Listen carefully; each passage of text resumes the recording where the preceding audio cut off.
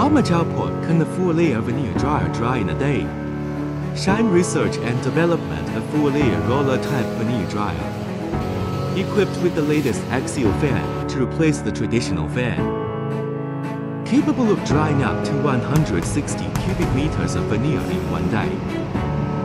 And ensure that each veneer is perfectly dry.